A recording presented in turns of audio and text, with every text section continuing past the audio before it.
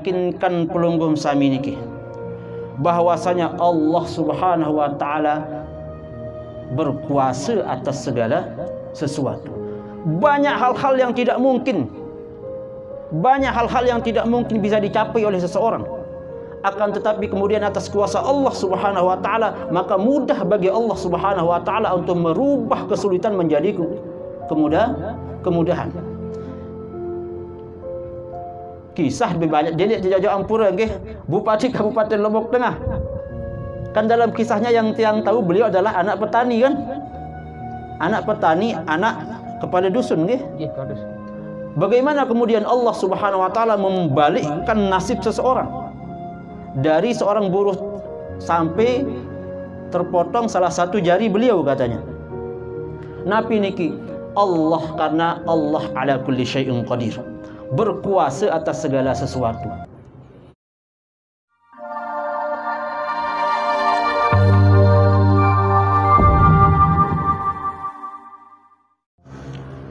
Assalamualaikum warahmatullahi wabarakatuh. Bismillahirrahmanirrahim. Alhamdulillahirabbil alamin. الحمد لله بنعمته تتم الصالحات.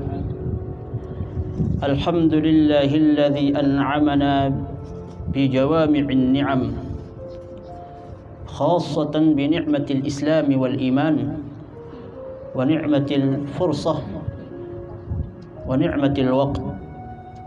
ثم الصلاة والسلام على خير البرية خير الأنام. ahsanul khuluq khalqan wa khuluqan nabiyina Muhammadin sallallahu alaihi wasallam Ampura yang dewek yang hormati Bapak Bupati Lombok Tengah beserta Wakil Bupati Lombok Tengah sebagai khadim tertinggi di Kabupaten Lombok Tengah yang dewek yang hormati Bapak Sekretaris Daerah yang tiang hormati Bapak Kepala Bagian Kabupaten Lombok Tengah yang tiang hormati Inspektur Inspektorat. Yang Alhamdulillah Bapak Haji Lalu Idham Khalid yang tiang hormati semua bagian semua pejabat semua pegawai yang tidak bisa tiang sebutkan satu persatu di tempat niki dan mungkin tidak berkesempatan hadir di pagi hari niki. Yang pertama-tama mari kita bersama-sama mengucapkan puji syukur tiang penunggu sami kehadirat Allah Subhanahu wa taala atas limpahan rahmat, inayah, keberkahan dan hidayah kepada tiang pelunggu sami. Sampai kita bisa berkumpul bersilaturahmi bermuajahah untuk bertanasuh di tempat niki. Alhamdulillah kalau bukan karena inayah, hidayah dan pertolongan Allah Subhanahu wa taala yang menggerakkan tiang pelungguh sami ke tempat majlis niki sesungguhnya tiang pelungguh sami niki adalah tidak ada apa-apanya. Tiang pelungguh sami niki adalah makhluk yang lemah makhluk yang karing sekedik tercuil si Allah subhanahu wa ta'ala. Langsung tidak narak di bawah dunia niki. Maka kita bersyukur kepada Allah subhanahu wa ta'ala saat pertama tiican kita jadi hamba Allah yang beriman. Tiican itu jadi hamba Allah yang Islam. Banyak dari sahabat-sahabat yang pelunggu sami, teman-teman pelunggu sami yang masih di luar agama Islam, yang belum diberikan hidayah oleh Allah Subhanahu wa taala. Tiang pelunggu sami berasal dari keturunan yang beragama Islam, maka nikmat adalah nikmat terbesar yang patut dan harus kepada barang-barang syukuri nikmat kesempatan yang tidak setiap orang mampu untuk mendapatkannya dan diberikan oleh Allah Subhanahu wa taala.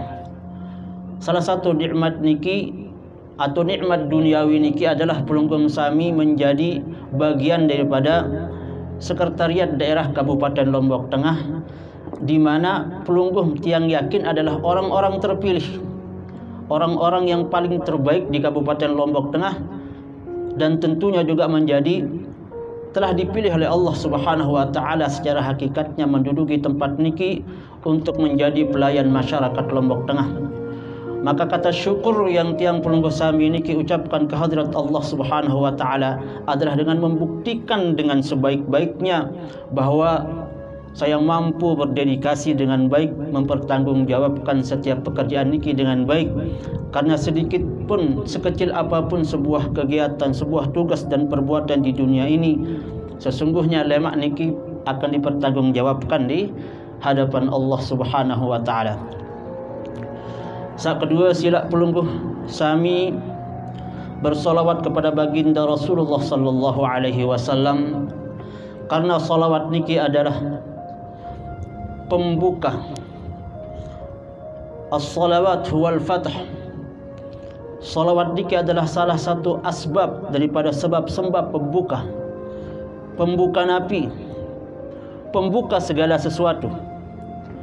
Napi yak kayun pelungguh sami entah niki tujuan duniawi ataupun niki yang lebih afdal dan lebih utama niki adalah tujuan ukhrawi insyaallah karena asbab salawat memperbanyak salawat niki maka semua akan futuh. Keperluan kehendak tujuan cita-cita kemelek niki pasti beda-beda setiap manusia. Lalu insyaallah dengan memperbanyak salawat kepada baginda Rasulullah sallallahu alaihi wasallam Selain sebagai bentuk rasa cinta tentunya Saat pertama ketika mengamalin sebuah ibadah Sebuah bacaan Ataupun it, apa pun itu dalam bentuk perintah kepada Allah subhanahu wa ta'ala Tentu paling utama adalah Mengharap ridha Allah subhanahu wa ta'ala Akan tetapi Allah subhanahu wa ta'ala lebih wikan ke milik manusia Lebih ketawa ke milik manusia Walaupun seandainya ia bukan itu menjadi tujuan hakinya, hakikinya misalnya median jadi A, B, C. Tapi dengan mengamalkan salah satu adalah salawat kepada Rasulullah sallallahu alaihi wasallam, maka insyaallah akan futuh segala sesuatu kehendak atau kemilik tiang pelunggu pelunggu sami. Bapak-bapak dan ibu-ibu yang tiang hormati, di pagi hari ini alhamdulillah matahari cerah insyaallah niki sehat. Tiang pun jarang ke masjid niki bawun jelo marak niki. Mudah-mudahan tekican bareng sehat isi. Sebab matahari niki sak sehat niki alhamdulillah. Mungkin juga niki tiang pelunggu sami harapan dari pemerintah Kabupaten Lombok Tengah agar tercapainya vaksinasi 70% nggih. Tercapainya vaksinasi 70% niki kita berdoa mudah-mudahan pemerintah Kabupaten Lombok Tengah mampu menginisiasi me, menyampaikan PR besar niki mudah-mudahan seluruh warga Kabupaten Lombok Tengah bisa divaksinasi bisa sampai 70% atau lebih sebelum awal atau di awal bulan Oktober niki. Oktober niki tanggal, tanggal 5 iya, batasnya. Yeah. Tentunya kehadiran Pulunggo Sami niki Uh, menjadi salah satu tonggak untuk memperjelas kepada masyarakat mudah-mudahan masyarakat akan sadar akan uh, urgensi atau pentingnya vaksin niki tentunya untuk kebaikan mereka dan kebaikan Lombok Tengah dan kebaikan Indonesia pada umumnya. Bapak-bapak dan ibu-ibu yang yang hormati Rasulullah sallallahu alaihi wasallam sebagai suri toladan sebagai contoh terbaik dalam kehidupan apa pun bentuknya kehidupan yang baik maka contoh terbaik yang bisa diikuti oleh tiang pelunggu sami ini adalah contoh kehidupan Rasulullah sallallahu alaihi wasallam tiang pelunggu sami sebagai hamba Allah sebagai manusia ketika diturunkan dilahirkan ke dunia niki pasti akan berdaya masalah ke bapak yeah. dekat terjadi pejabat pasti boleh masalah nggih yeah. ada pejabat sak media jadi semene ada pejabat sak media jadi semeno ada sak pejabat tiba-tiba terubah banyak nggih Ibu-ibu juga niki. Ibu-ibu kira-kira berdua ada masalah yang ibu-ibu? Bu, bu, bu. Berdua ada masalah ibu-ibu? Bu, yo. Ah. Oh. Arak kira-kira niki semama sambil merarik malik niki. Wala mau laporan niki.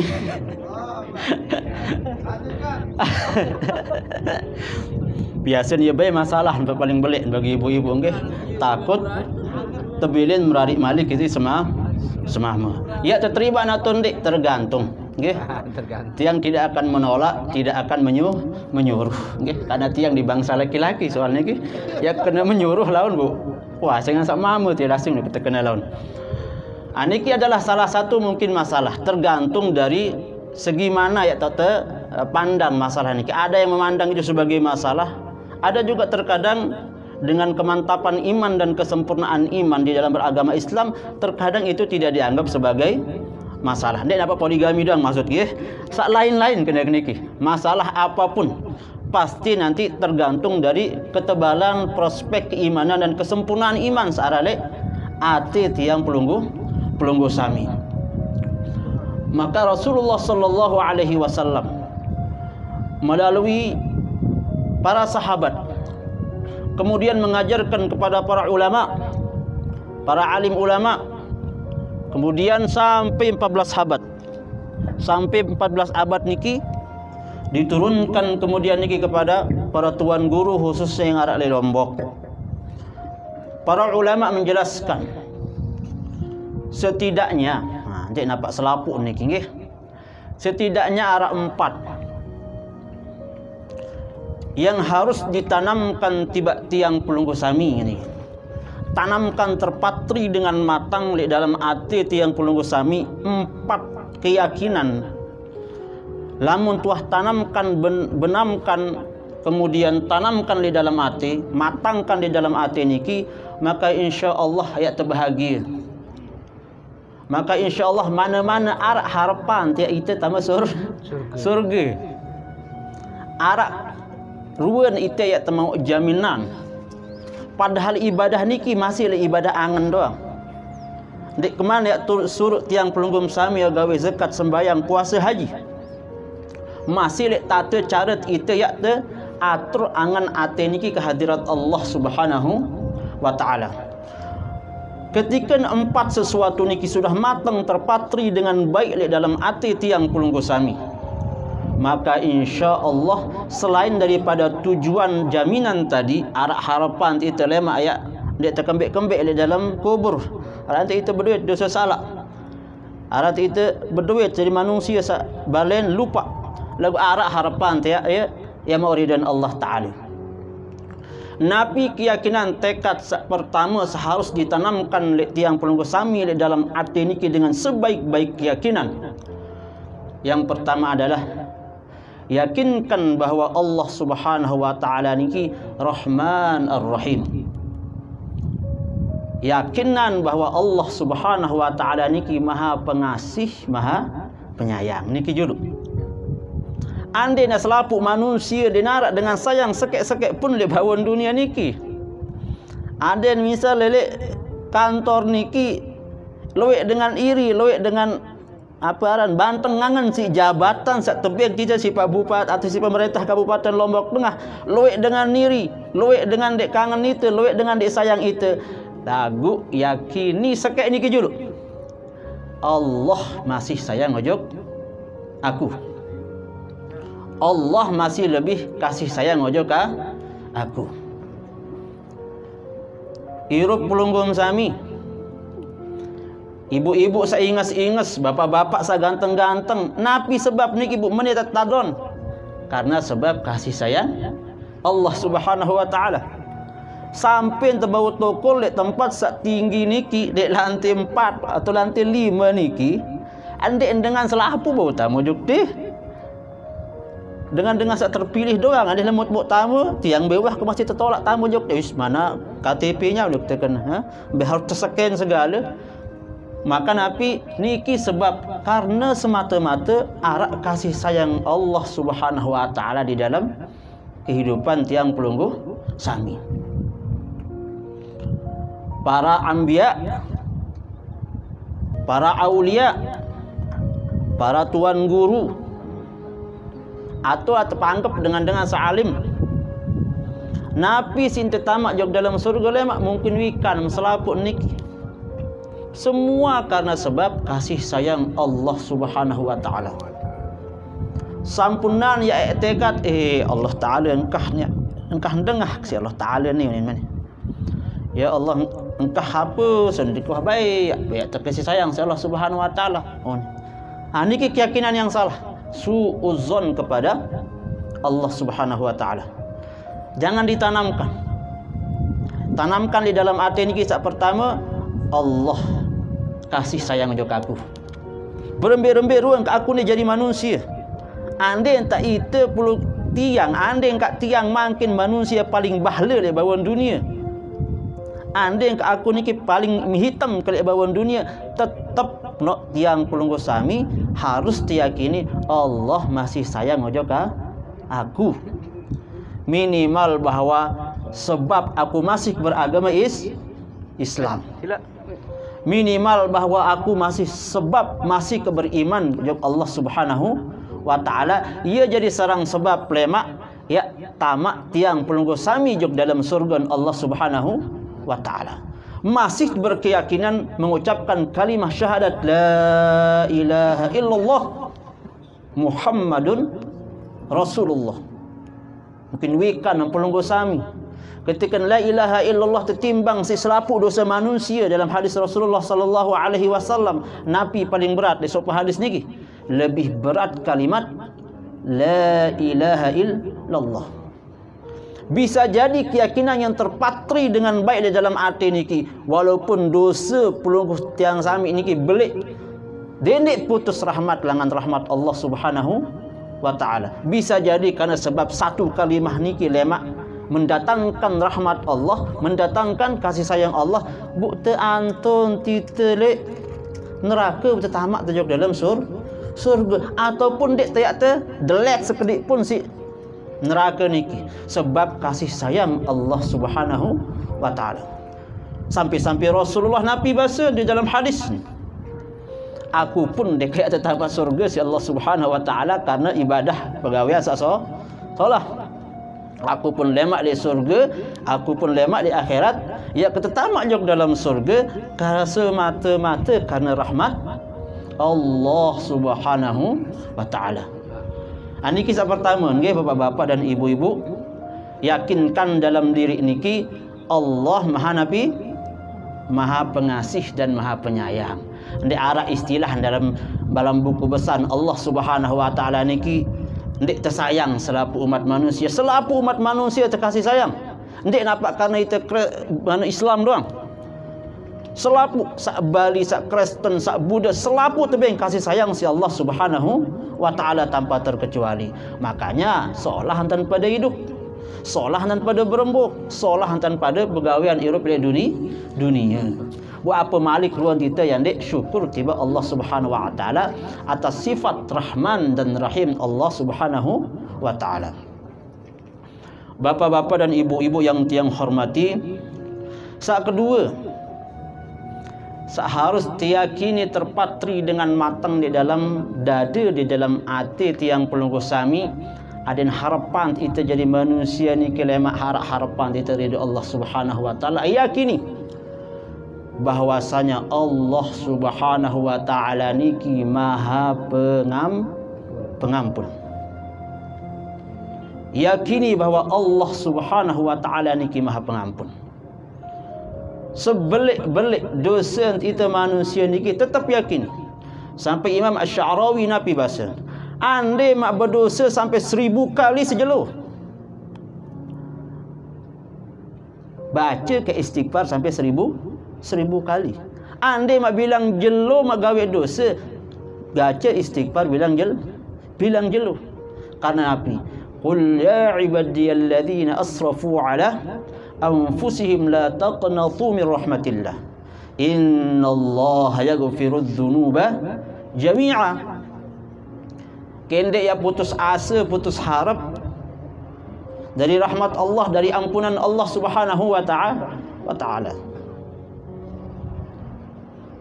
karena sesungguhnya selapuk dosa salah niki yang tak ampunin si Allah Subhanahu wa taala nabi dinarak dengan manusia dewah berdosa berdosa tiang pun kesang rawas de jurun pelunggum sami niki bukan sebagai manusia sempurna bukan sebagai manusia yang tidak luput dari dosa dan salah hanya Nabi Muhammad sallallahu alaihi wasallam dan para nabi doang yang terjamin tidak melakukan dosa. Lamun masih jadi manusia, anggap diri masih jadi manusia aja. Masih kita berdua kesempatan untuk gawe do, dosa. Yakinin bahwa Allah Subhanahu wa taala niki Maha pengam, pengampun. Terlalu banyak riwayat-riwayat di dalam hadis Rasulullah sallallahu alaihi wasallam di dalam kisah-kisah para ulama bagaimana Allah Subhanahu wa taala membuktikan. Salah satu yang bisa tiang ceritakan adalah ala sopo dengan nina ampura niki di dalam hadis Rasulullah sallallahu alaihi wasallam di dalam Mukhtarul Ahadits An-Nabawiyah jadi ceritakan di sana arak dengan nina Ampura ia jadi pelacur. Pegawaian hanya napiaran uh, layani dengan mama hidung belang. Pegawaian. Kemudian nah berarti ni kan lubung dosa belik doang ni. Menggawi. Pada suatu ketika kemudian tersebutan bahawa dengan nina niki lelangan bundait basong melat nginem timbullah rasa kasih sayang dengan nina ni kirip makhluk bun bantu niki kadu sepatun turun ojok napiaran ke sumur niki membantu basong niki bun sampai besuh basong niki bu lampan ternyata ia jadi sarang sebab dia tak ampunin si Allah Subhanahu wa taala. Tak ampunin seluruh pegawaian dosa niki. Dalam cerita yang lain juga banyak disebutkan. Bagaimana Allah Subhanahu wa taala di dalam kisah Rasulullah sallallahu alaihi wasallam Bani Israel yang sudah membunuh sampai 99 orang. Lalu putus harap untuk mendapatkan ampunan Allah Subhanahu wa taala tidak pernah putus sampai dia membunuh 100 orang baru berniat doang bila gawe solah ketika akan menemui tuan guru suatu wilayah, suatu tempat, meninggal dia. Karena sebab niat yang baik dan lurus mengharap rahmat Allah Subhanahu wa taala, ampunan Allah Subhanahu wa taala, maka Allah ampuni dengan isi tetangga tetama dalam sur surga. Pelungguh muikan semuanya niki Napi aran bangsa sak paling terlaknat di dunia bawon sejarah umat manusia niki. Nabi aran bangsa paling terlaknat dalam sejarah umat manusia. Bangsa Yahu Yahudi. Sudah di di Al-Qur'an niki sudah jelas terpatri. Tertulis bangsa yang paling terlaknat yang dalam sejarah umat manusia niki adalah umat Yahudi. Ketanya pelunggum sami. Mbe tahu Nabi sak paling loe. Umat Yahudi tahu paling loe. Padahal lo bangsa begawe yang salah dalam pur. Bangsa Yahudi yang loe. Kemudian bangsa be sawah al-manna was salwa. Al-manna was salwa niki adalah makanan surga. Dinara aran dalam bahasa Arab niki al-manna was salwa niki aran buah-buahan. Tapi toh juga uah tebing suatu bangsa makanan makanan surga niki aran manna wa salwa pada zaman kisah Nabi Musa. Salah satunya juga kepada Siti Maryam. Siapa ni kita bejuk bangsa Yahudi. Padahal wah jelas ni terkena dia bangsa Yahudi niki ia terlaknat doa.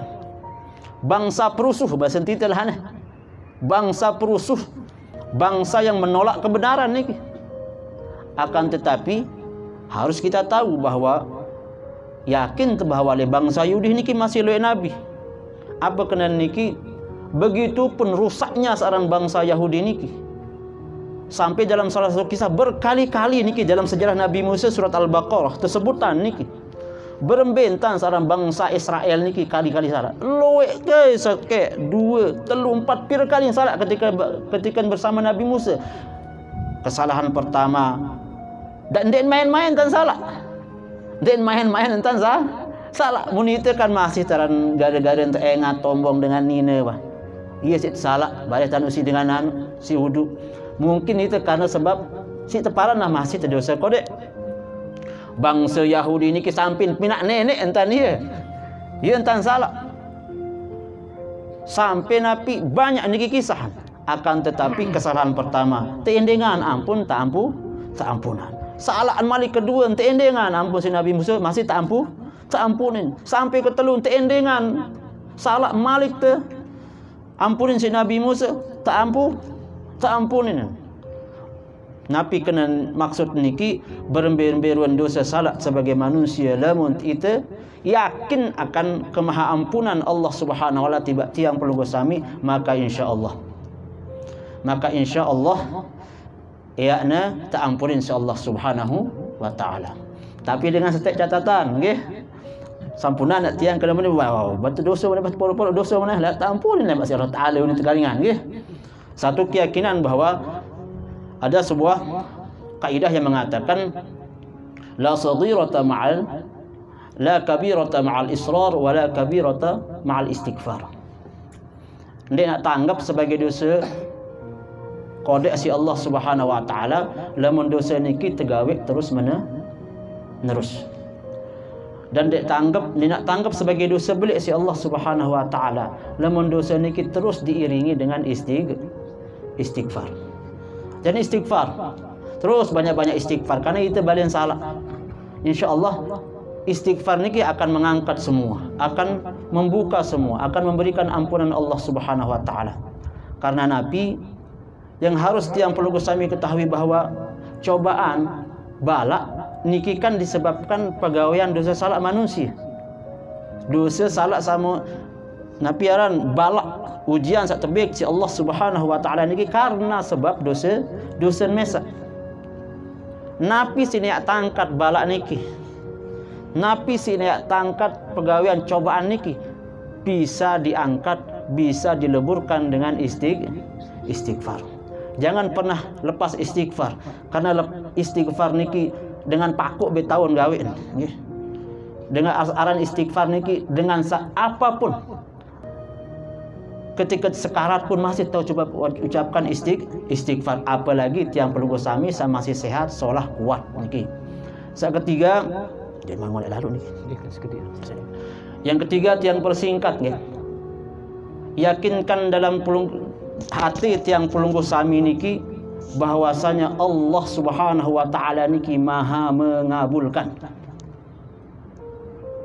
Nikah harus patri yakinkan lek diri teniki bahwa Allah Maha mengabulkan.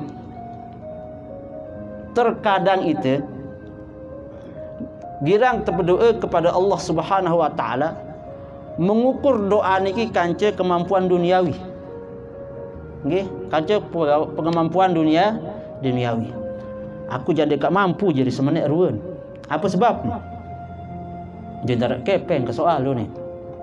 Mengukur apa yang akan didapatkan yang dicita-citakan kanca kemampuan manusia yang sangat lemah tidak kemudian mengukur kanca kuasa Allah Subhanahu wa taala. Dahulukan dulu kuasanya Allah Subhanahu wa taala.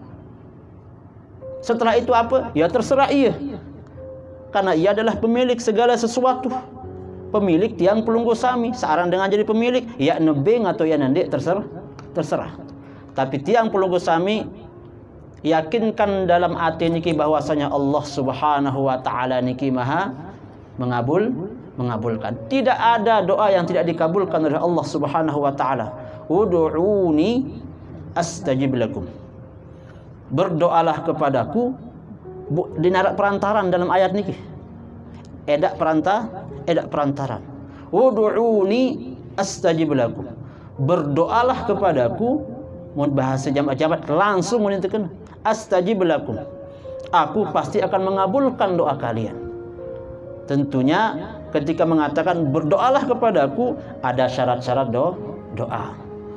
ada sadendek lawan salak malik suuzon kepada Allah Subhanahu wa taala paran doen kita ndek terca tercapai apa pun samun doa si pelunggung sami pasti akan dikabulkan oleh Allah Subhanahu wa taala tapi dikabulkannya doa ini oleh Allah Subhanahu wa taala akan diberikan kepada makhluknya, kepada hambanya pada sesuatu yang dia butuhkan.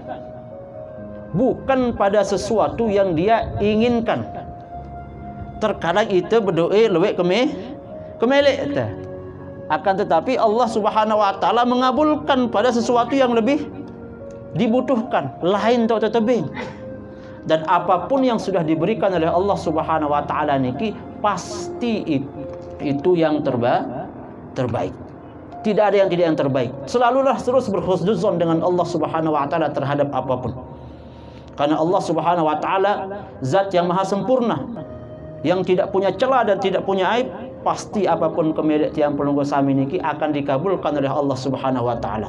Niki keyakinan yang harus terpatri. Jangan sampai sedikit pun secuil pun ya kurang di dalam keyakinan pelunggu sami. Dan saat terakhir nggih, luwe ini kita piniki yang menjadi poin terpenting. Yang terakhir adalah yakinkan pelunggu sami niki bahwasanya Allah Subhanahu wa taala berkuasa atas segala sesuatu. Banyak hal-hal yang tidak mungkin banyak hal-hal yang tidak mungkin bisa dicapai oleh seseorang.